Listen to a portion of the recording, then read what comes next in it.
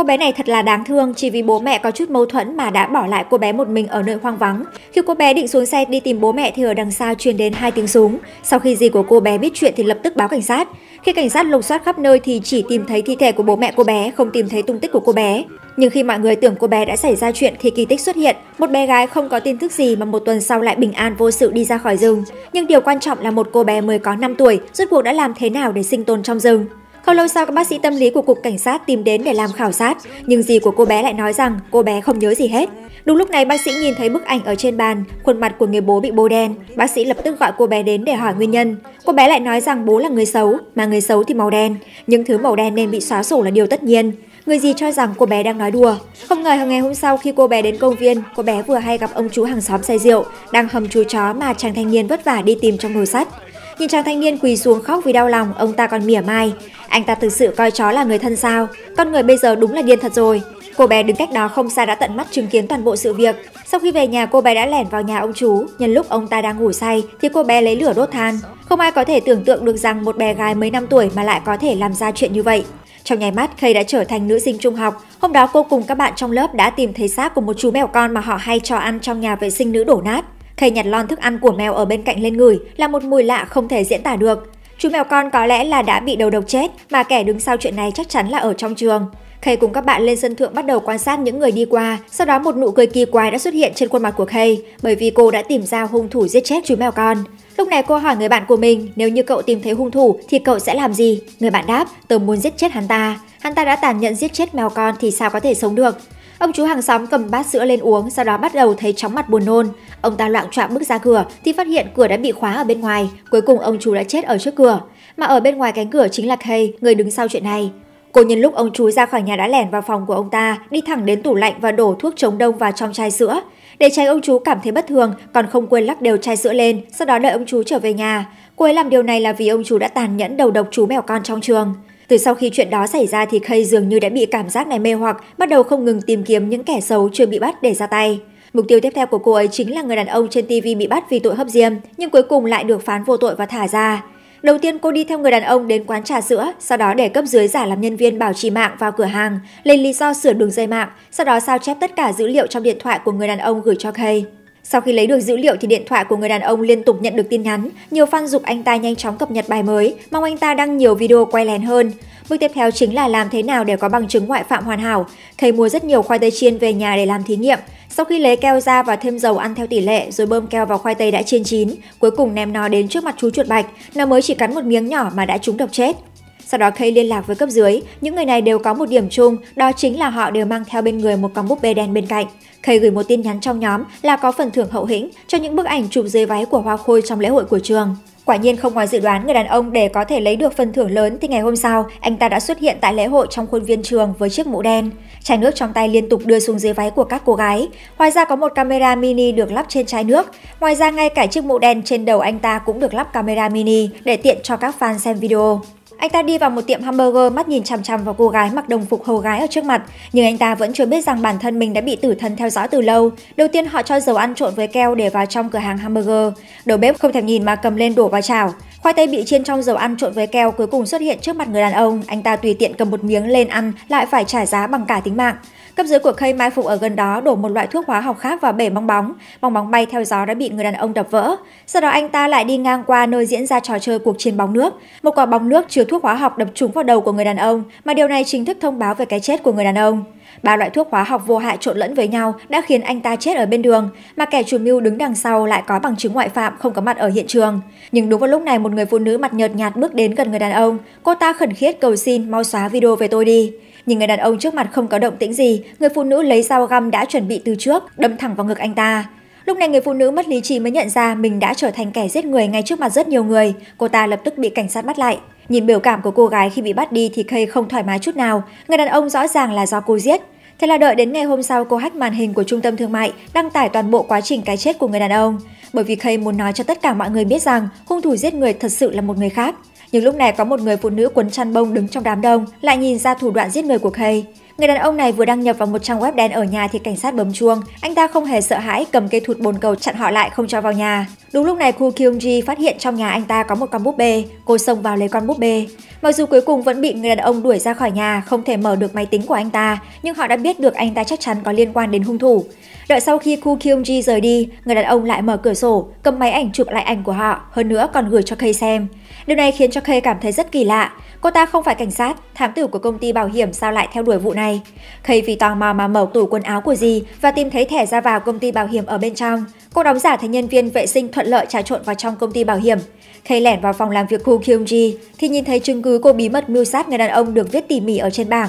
Kay cái thiết bị nghe lén đã chuẩn bị từ trước lên trên bóng đèn. Không ngờ trợ lý của Ku Kyung Ji đột nhiên quay lại phòng làm việc, hóa ra là tưới cây cho Ku Kyung Ji.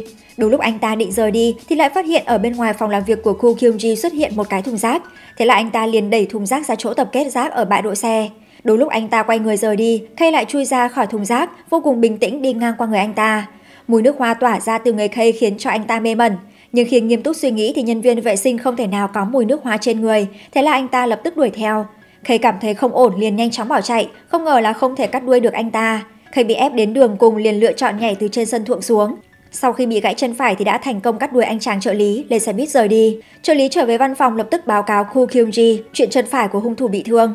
Khu Kyung Ji nhanh chóng tìm đến Kay chuẩn bị xem chân phải của cô có bị thương không. Không ngờ Kay vì để chứng minh mình vô tội đã đứng dậy và nhảy xuống khỏi sân khấu và còn giả vờ như không có chuyện gì. Sau khi phát hiện Kay không hề bị thương, Khu Kyung Ji quay người rời đi. Kay không thể chịu được nữa lập tức lấy thuốc giảm đau ra uống. Không thể không quan tâm đến người phụ nữ này được nữa rồi. Người phụ nữ đang đổ nước vào bể nơi những đứa trẻ đang chơi đùa. Sau khi Ku Kyung Ji nhìn thấy thì tưởng rằng trong nước có độc, vội vàng bảo bọn trẻ nhanh chóng rời đi.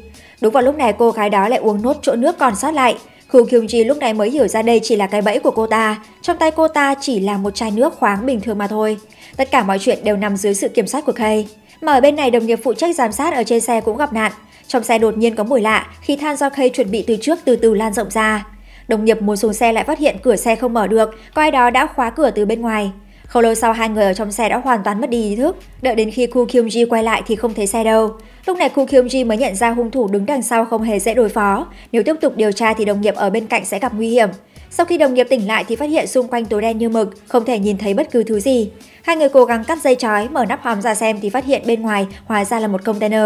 Hơn nữa dưới chân còn cảm nhận được nước biển lạnh ngắt, rõ ràng lúc này họ đang bị nhốt ở trên mặt biển. Đồng nghiệp vội vàng gọi cho Ku Kyung Ji. Ku Ji vội vàng cùng trợ lý đi xe điện đi tìm. Họ đã tìm kiếm tất cả các vùng biển xung quanh nhưng không phát hiện ra chiếc container nào. Mà ở bên này chiếc container đang dần dần bị nước biển nhấn chìm, hai người ở bên trong vẫn đang khổ sở chờ đợi cứu hộ. Khi khu Kyungji đến bờ biển một lần nữa, mặt biển vô cùng yên tĩnh, lẽ nào container không phải ở bờ biển?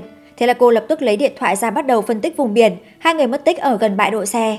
Một hồ nước ngọt đã thu hút sự chú ý của khu Kyungji. Lúc này chiếc container đã hoàn toàn bị dòng nước nhấn chìm, áp suất nước ở bên trong đã đạt đến giới hạn. Đồng nghiệp ở bên trong cố gắng hết sức, cuối cùng cũng mở được cánh cửa ở dưới đáy của container. Bởi vì cánh cửa phải có một người giữ, nên Na Jae-hee bảo Oh Kyung Soo ra trước.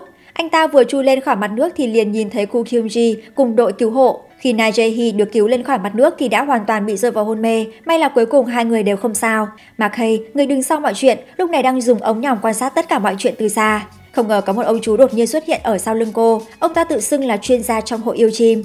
Ông ta nói rằng gần đây xuất hiện một con chim vua rất hiếm. Ông ta không ngừng xoay ống nhòm để Kay nhìn sang trái, rồi lại nhìn sang phải, khiến cho Kay chóng mặt. Sau đó ông ta lấy ra một gói giấy đưa cho Kay. Cô không thèm quan tâm chuẩn bị tiếp tục quan sát Ku Kyung Ji.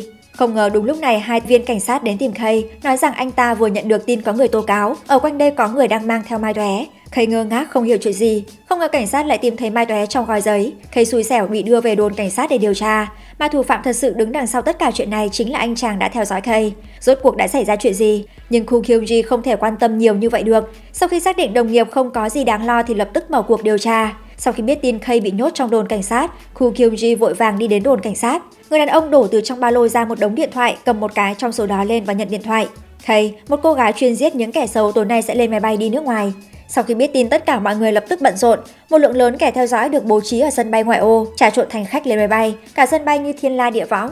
Điều kỳ lạ là những người này không phải là cảnh sát mà là nghe theo lệnh của một bà lão ngoài 60 tuổi, là bà chủ đứng đằng sau công ty bảo hiểm.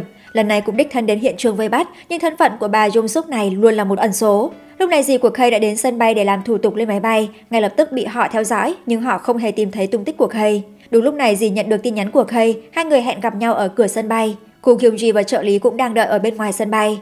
Nhìn thấy sắp đến giờ máy bay cất cánh, sân bay đã phát thông báo lên máy bay, dì sốt ruột gọi cho Kay.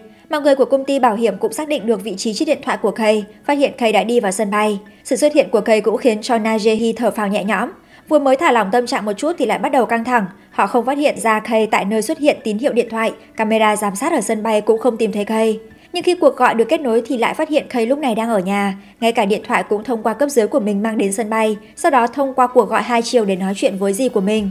Thiên la địa võng răng ra, cuối cùng lại không thu lại được gì, mà chiếc điện thoại kia sau khi gọi xong cũng bị vứt vào trong thùng rác. Sân bay vừa nãy còn tấp nập người qua lại, bỗng dưng vắng vẻ một cách lạ thường, cùng với cuộc rút lui của những người vây bắt Kay. Sau khi Kay biết được đối phương bố trí rất nhiều người để vây bắt cô, không những không sợ mà ngược lại còn vô cùng tự hào. Đúng lúc cô đang tự hào về bản thân vì đã lừa được rất nhiều người, thì đột nhiên có một bóng người xuất hiện ngoài cửa. Khu Kyungji đã phát hiện ra nơi ẩn nấp của Kay, bây giờ cô đang nhìn qua kính để tìm kiếm Kay. Khu Kyungji lập tức định mở cửa ra, Kay ở bên trong cố gắng giữ chặt cửa, nhưng cứ miễn cưỡng giữ cửa như vậy thì cũng không phải là cách hay. Kay mở cửa ra, cầm sảnh ở bên cạnh lên chuẩn bị đánh Khu Kyungji. Sau khi Khu Kyungji nhìn thấy thì lập tức đóng cửa lại, tình thế đảo ngược đổi lại thành Khu Kyungji cố gắng đóng chặt cửa. Cùng lúc đó Kay đang cố gắng để cánh cửa ra. Khu Kyungji, người đã ngoài 50 tuổi cuối cùng vẫn không phải là đối thủ của Kay. Không lâu sau cánh cửa bị Kay đẩy ra, Kay lộn nhào một cái rồi đứng dậy, đứng trước mặt Khu Kyungji giống như không có chuyện gì xảy ra. Một tên sát nhân biến thái mới hơn 20 tuổi, đấu với một nữ thám tử ngoài 50 tuổi thì sẽ như thế nào? Ku Kyung-ji, người chỉ ở nhà chơi game vì không thường xuyên luyện tập thể dục thể thao một thời gian dài, nên rõ ràng cô không phải là đối thủ của Kay.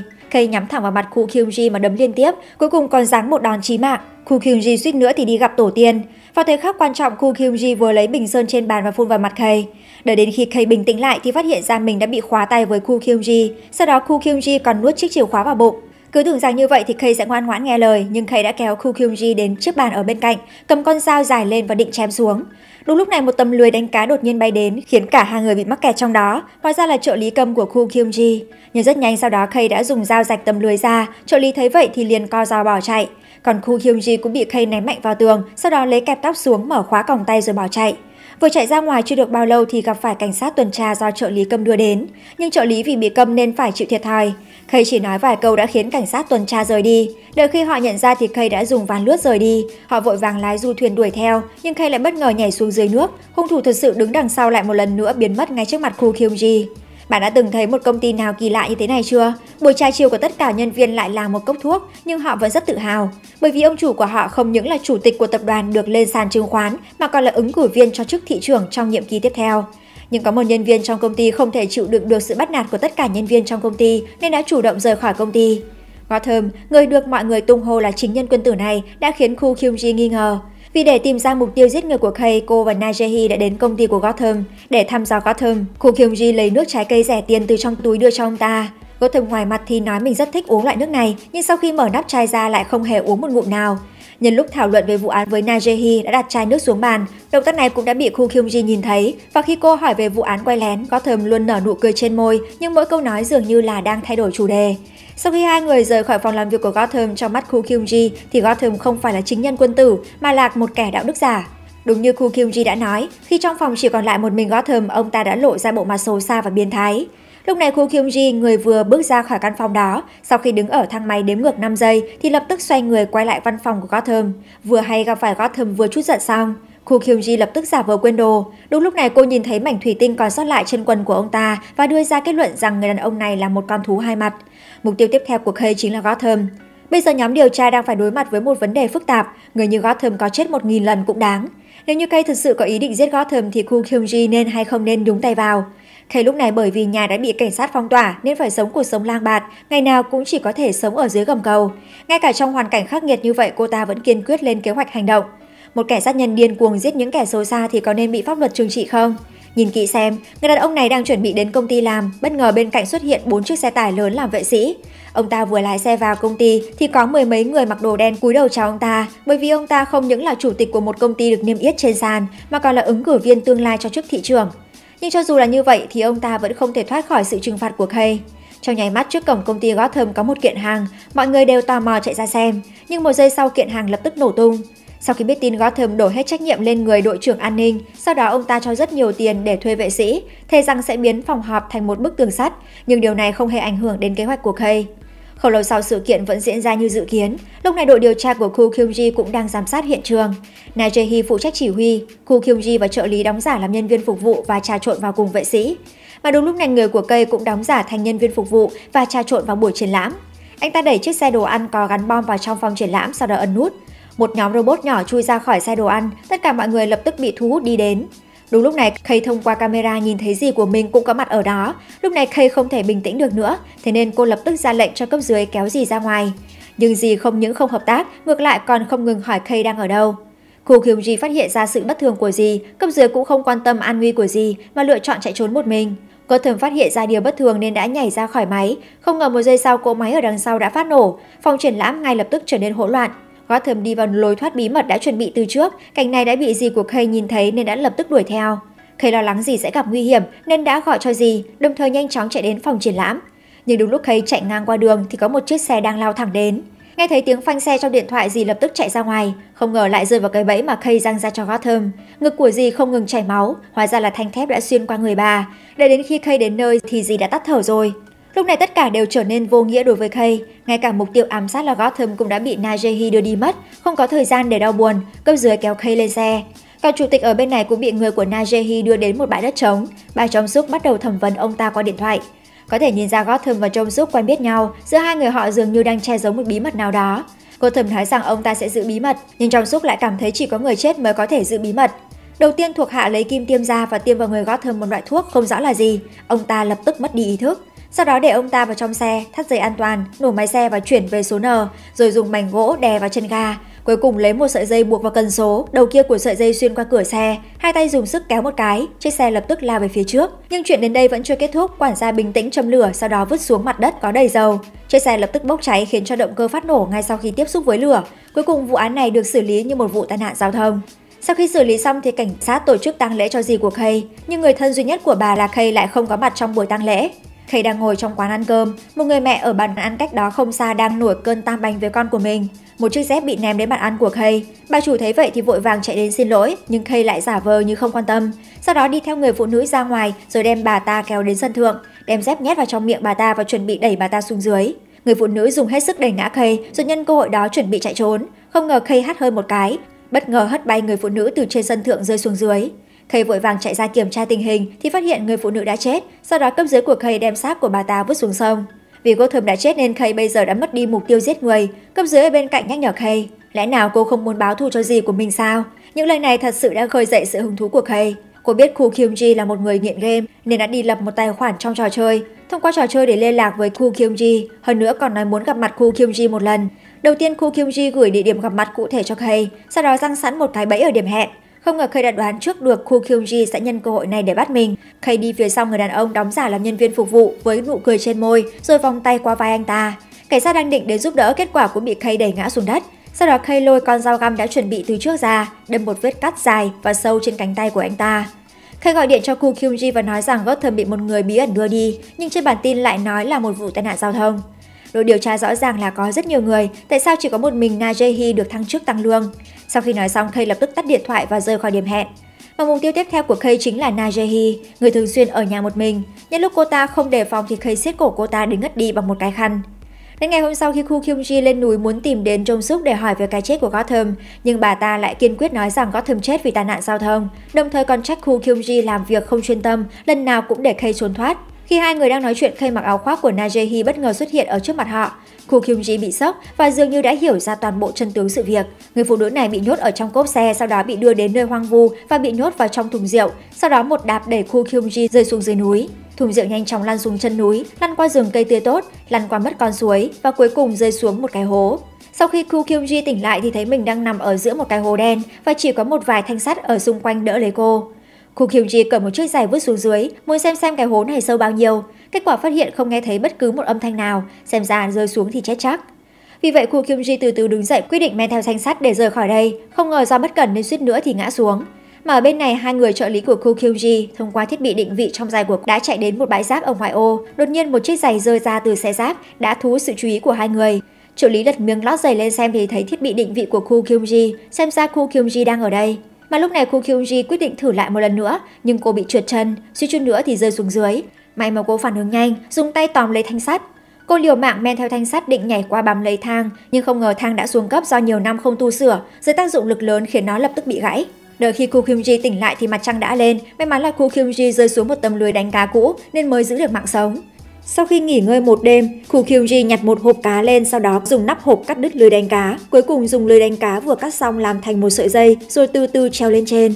Mặc dù cây hố chỉ cao 100m nhưng đối với khu Kyung-ji mà nói thì chính là khó như leo lên trời.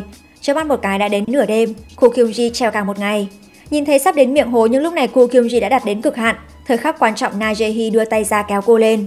Đây là người mẹ độc ác nhất mà tôi từng thấy, lại dúi đầu con trai vào một chậu tương ớt đầy, mà bà ta làm như vậy chỉ vì cậu con trai đút cho một cô gái ăn kim chi ở nơi công cộng.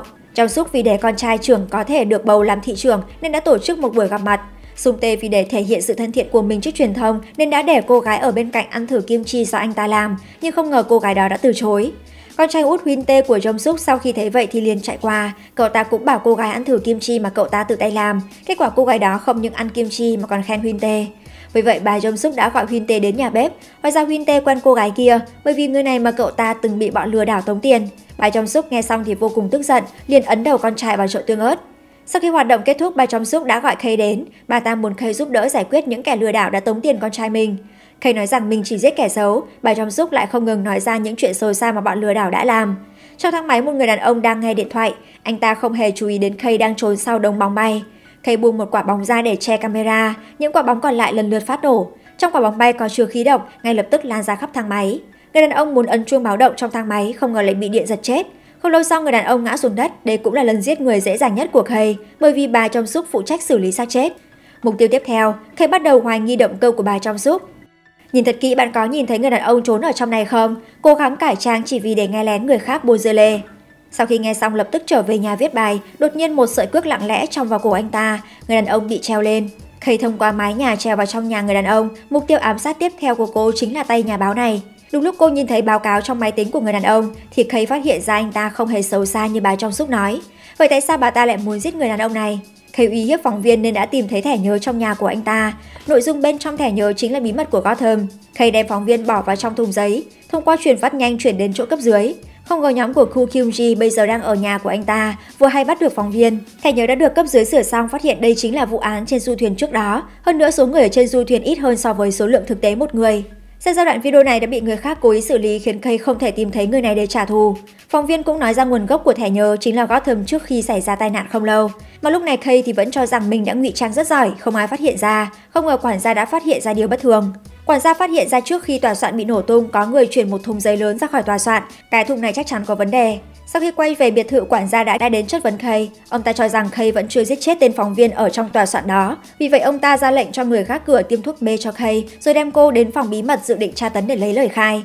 Sau khi Kay tỉnh lại thì thấy người đàn ông đang gầm rìu, khóe miệng cô không ngừng nhếch lên. Đúng vào lúc này trong phòng giam truyền đến tiếng kêu cứu, mà việc tiếp theo cô ấy làm chính là tìm bà trong giúp để báo thù. Tên nhóc này là một tên cặn bã hai mặt, Trước mặt truyền thông thì là một thiếu gia hiền lành học giỏi, nhưng trên thực tế lại là một tay ăn chơi chắc táng, bá đạo và giết người như ngoé. Thường lái du thuyền ra biển để tổ chức tiệc tùng, tàng trữ và sử dụng nhiều loại thuốc bất hợp pháp mà cậu ta vẫn bình tĩnh cầm điện thoại chụp ảnh lại. Cùng lúc đó, Ku Kyung-ji cũng đã mở được USB của Gotham và biết được người bị xóa trong video đó chính là con trai út của bà Jong Suk tên là Huyên Tae. Bà Jong Suk vì để bảo vệ con trai nên mới ra lệnh giết chết Gotham. Kay, người chuyên trừng phạt những kẻ xấu xa cũng chính là đối tượng mà bà Jong Suk muốn trừ khử, bởi vì cậu con trai út của bà ta chính là một tên cặn bã. Ở bên này Kay đã đến bên ngoài ngôi đền bởi vì mục tiêu ám sát tiếp theo của cô chính là con trai út của bà Trong Súc. Bà Trong Súc cũng đang biện minh cho tội ác của con trai mình, bất ngờ một người đàn ông tạt thẳng axit vào mặt bà ta. Hiện trường lập tức trở nên hỗn loạn. Na Jae-hee lập tức cởi áo để che ông kính máy quay. Bà Trong Súc lập tức được đưa đến bệnh viện. Khu Kyung Ji cũng đến thăm bà Trong Súc, nhưng bà ta không hề biết rằng mình biến thành bộ dạng này, tất cả đều là do Khu Kyung Ji là cô ta đã đem đoạn video trên du thuyền gửi cho tất cả phóng viên nổi tiếng ở các tòa soạn. Theo quan điểm của Khu Kyung Ji, chỉ cần mọi người biết những chuyện mà Hun Tae đã làm thì Kay sẽ không dám coi thường đối thủ. Mà ở bên này Kay đã tìm thấy trợ lý của Khu Kyung Ji. Trợ lý mặc dù theo dõi điều tra Kay rất lâu nhưng đồng thời anh ta cũng đánh giá cao cách trừng trị kẻ xấu của Kay nên đã đem USB của Gotham ra cho Kay. Sau khi biết tội ác của Hun Tae thì Kay lập tức gọi cấp dưới đến. Họ bắt đầu phân công công việc. Chỉ cần là người xấu xuất hiện ở trong đoạn video đều sẽ cùng lúc nhận được một con búp bê màu đen. Khi người của Kay rút lui khỏi hiện trường thì lại va phải khu Kyuji. Kay còn chưa biết người của mình đã bị bắt, bây giờ vẫn đang lên kế hoạch giải quyết Hyun Tae. Kay đem tin nhắn điện thoại của Sung Tae gửi cho Hyun Tae. Nếu như em trai tôi chết thì không chỉ có tôi và mẹ vui, trên thế giới cũng bất được một tên ăn hại. Huyên Tae nghe xong liền nói với Kay, cậu ta sẵn sàng chi một tỷ won để Kay giải quyết mẹ và anh trai của cậu ta. Sau đó Huyên còn mở cuộc họp báo, định vạch trần tội ác của anh trai mình trước tất cả phóng viên. Không ngờ Kay đã để cho người của cô ta trà trộn vào trong buổi họp báo. Nhưng lúc Huyên phát biểu thì làm loạn trực tiếp khiến cho cậu ta bị đám đông nhấn chìm. Lúc này quản gia định chạy trốn ra nước ngoài cũng gặp nạn, xe bất ngờ bị hỏng giữa đường. Kay đột nhiên xuất hiện ở sau lưng bắn một mũi an thần vào đầu ông ta và lấy khẩu súng ở trong túi áo của ông ta. Sau đó mở cửa xe ra, bà trong xúc lúc này giống như một con dê có thể bị làm thịt bất cứ lúc nào. Kay chuẩn bị chơi một trò chơi cảm giác mạnh cùng với bà ta, nếu thua thì sẽ chết. Nếu phải lựa chọn hoặc là giết 20 nghi phạm hoặc là giết con trai của mình thì bà sẽ chọn thế nào? Lúc này bà trong Súc vẫn chưa biết 20 nghi phạm đã được Kay tập hợp lại, trong số đó còn có con trai cả của bà ta, Sung Tê. Đột nhiên dưới đất xuất hiện hai đồ chơi nhỏ bằng điện, một cái đại diện cho Hin Tê, một cái đại diện cho 20 nghi phạm. Bà trong Súc phải đưa ra sự lựa chọn trong vòng 60 giây. Nhưng điều khiến Kay bất ngờ chính là bà trong Súc đã giữ lại mạng sống của 20 nghi phạm. Điều này khiến cho Kay vô cùng kinh ngạc, không ngờ một bà lão ích kỷ như bà ta lại có thể làm như vậy. Nhưng mọi chuyện vẫn chưa kết thúc, Kay đã cầm một tỷ won của Huynh Tê nên không thể nuốt lời được, nên cô ta lại cầm hai đồ chơi bằng điện lên, một cái đại diện cho Huynh Tê, một cái đại diện cho chính bản thân bà trong xúc. Không ngờ bà ta lại quả quyết trực tiếp lựa chọn sinh mệnh của mình. Hành động của bà ta khiến cho Kay rất khó hiểu, đây không phải là phong cách của bà trong xúc nên đã tháo băng trên mặt bà ta ra. Khoảnh khắc tháo băng ra thì bà trong xúc lại biến thành Khu Kyungji. Phát hiện kế hoạch của mình bị phá hỏng, Kay không thể ngờ được rằng mọi kế hoạch của cô đều nằm trong dự đoán của Khu Kyungji. Cô ta theo đoạn video trong tay Kay phái trợ lý tìm đến một tòa nhà bỏ hoang, hơn nữa bảo anh ta thả tất cả nghi phạm ra. Một người trong số các nghi phạm nói với trợ lý rằng Sùng Tê vẫn đang hôn mê ở bên trong tòa nhà. Trợ lý sau khi nghe xong lập tức chạy vào bên trong tòa nhà.